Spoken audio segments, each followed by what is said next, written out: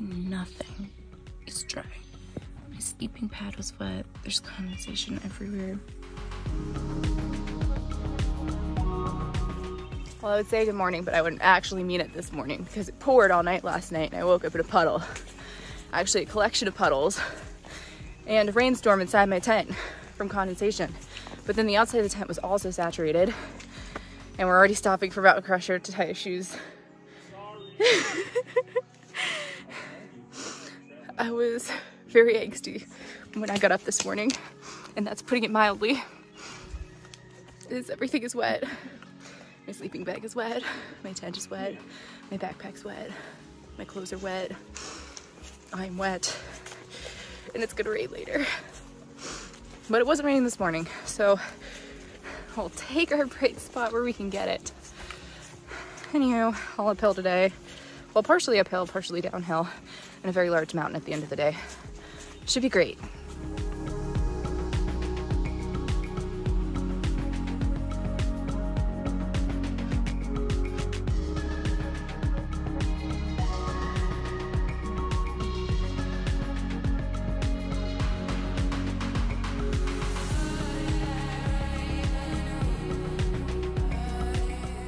Are you sure you don't want it for your dream home?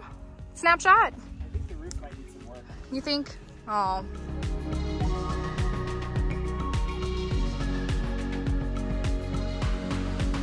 This is amazing.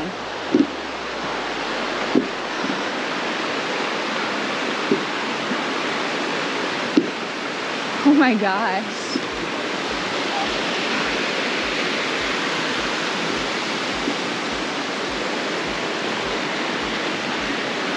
Wow.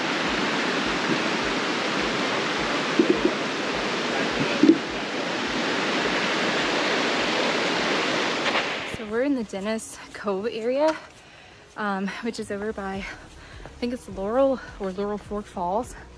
This place is so cool. We're just leaving a river behind us with a ton of cascades and waterfalls and a really, really beautiful bridge.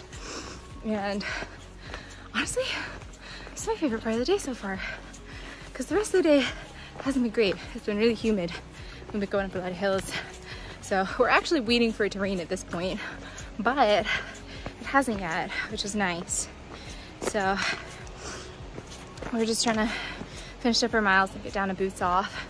But yeah, this area is really, really pretty. If you guys ever have a chance to come and see it, you should.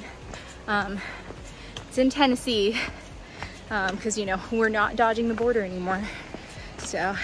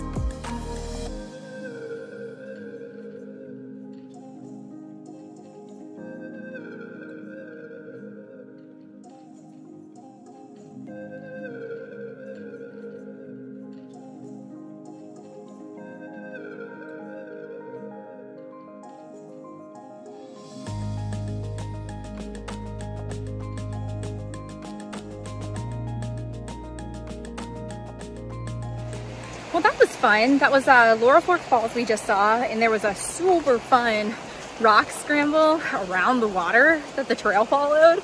It was a blast. And as you can tell, the umbrella is out because it is finally raining. Sad piece. Oh, I'd say we got to Laurel Fork at just the right time, considering now it is downpouring. I think to say the skies have opened is an understatement.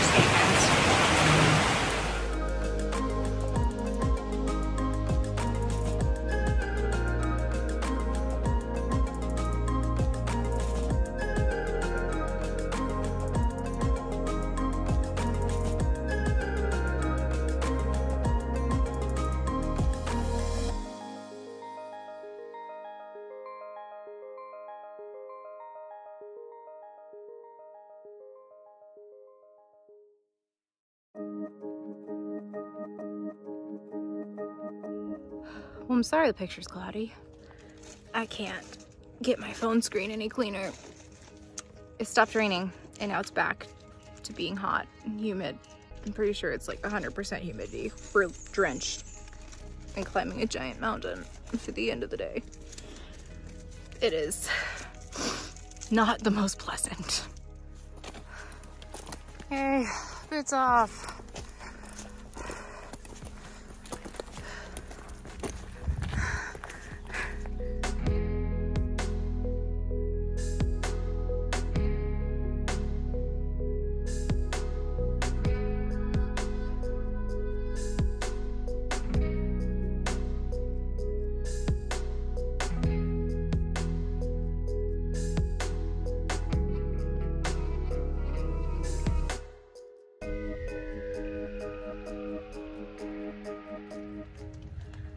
Well, we are camped at Boots Off Hostel in uh, like Hampton, Tennessee tonight.